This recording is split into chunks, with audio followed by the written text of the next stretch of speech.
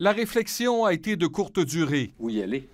Oui, je serai candidat à la direction du Parti libéral du Québec. En entrevue à TVA Nouvelle, l'ex-président de la Fédération des chambres de commerce dit revenir aux sources. Le Parti libéral du Québec, c'est ma famille politique depuis 25 euh, ans. Donc, j'avais 16 ans, je posais des pancartes à Lévis, où je suis né. C'est important pour moi la fidélité en politique, et pour moi, c'est le plus grand parti de l'histoire politique du Québec.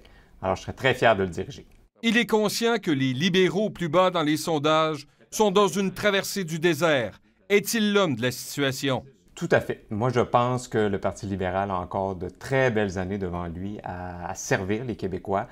Je suis un peu, euh, je vais vous dire, écœuré que le branding libéral, la marque libérale soit à terre au Québec. Il est grand temps qu'il y ait une relève, qu'il y ait un renouveau au parti.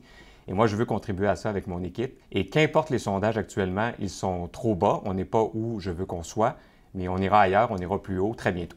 Le plus grand défi, si vous regardez derrière vous, c'est de sortir de Montréal. Le plus grand défi, c'est d'avoir un discours qui parle à tous les Québécois. Je veux être cette personne-là qui va réconcilier euh, la ville à, la, ruralité, les générations aussi. Samedi, les jeunes libéraux réunis en congrès prôneront un renouvellement du fédéralisme. Nationalistes québécois et fédéralistes, Milliard ne veut pas relancer les vieux débats. Moi, j'ai aucun intérêt à jouer la carte de la peur par rapport aux fédéralistes et aux séparatistes. J'ai beaucoup de respect d'ailleurs pour euh, les élus, les députés du Parti québécois. Ils ont un projet qui est le leur, ce n'est pas du tout le mien.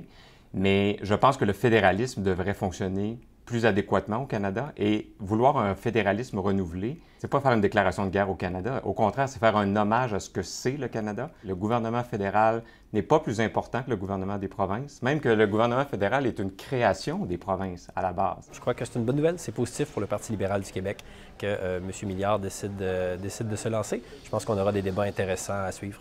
Denis Coderre, qui a officialisé sa candidature en juin, prône dans une lettre publiée vendredi un renouveau du fédéralisme. Il estime qu'Ottawa doit confier à des commissaires québécois les décisions du CRTC qui concernent le Québec. Il y a deux choses que j'accepte pas. Que le PLQ redevienne une succursale du PLC et que, deuxièmement, il euh, faut tout s'aider. Deux des cinq candidats potentiels viennent de franchir la ligne de départ. Il n'y a pas d'adversaire facile dans une course comme ça. Le prochain chef du Parti libéral sera choisi en juin 2025. Alain Laforêt, TVA Nouvelle, Montréal.